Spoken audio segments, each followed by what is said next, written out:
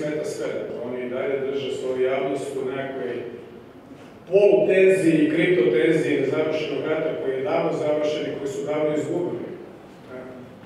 Albanska većina na Kosovu se konsolidirala, priznata je od skoro cijele Europske unije i to je stvarnost.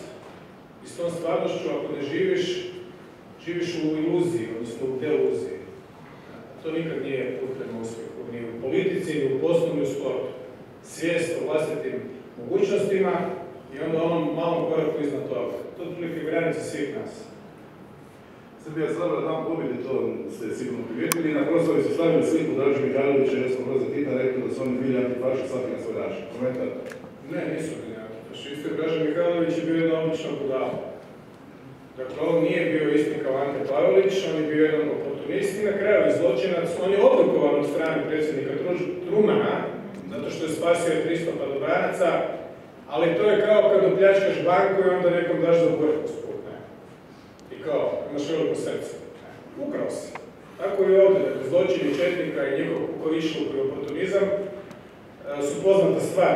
Protiv Četnika su se najkrvavije borili upravo Srbi i Crnogorci i Hrvati, Dalmatinci. Dakle, moji Dalmatinci u drugom svjetskom ratu, ali najžešće upravo Srbi, antifašisti i crnogorski partizani. I to je jadno stvari što rade, a naročito je jadno što sam čuo da je netko od njih spomenuo da su ljudi s Kozare, koji su kasnije završili po raznim raznim logorima u Jasenovcu, da ih je Tito mogao spasiti 42. u ljeto, ali kao da nije se bojao ustaškog pokreta. Mislim, pustimo i Tita i ustaški pokret, to su glupost. Ne možete odgajati nove generacijama notornim glupostima i neistinama ponovio povijesti. Što je Tito bio Eisenhower? Negdje tamo se skrivao u Foči na obali Drine 42. ljeto, ne mogu uopće utjecati na to.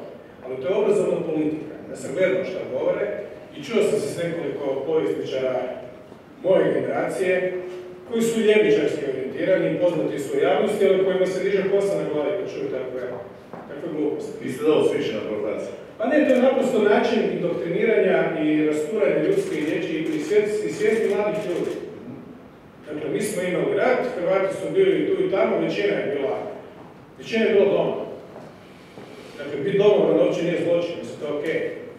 Velik broj je bio u partizanima, manji broj je bio na strani sila osobina i ustaškog pokreta, posebno u početku, a i na kraju rata. I mislim, ako nisam svjestan onoga u mom narodu što je bilo dobro i loše, onda ne mogu, sigurno ne mogu aspirirati da vodim taj narod u tu političku zajednicu kao demokratski izabran. A nažalost, kod naših susjeda je sve deluzija.